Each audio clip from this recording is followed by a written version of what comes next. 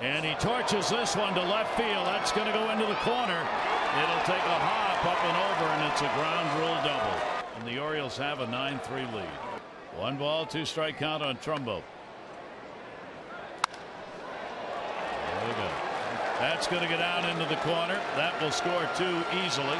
Mark's on his way to second base. He's got a stand up double. So Trumbo delivers a four RBI game with the Orioles right fielder, and it's 11 to 3.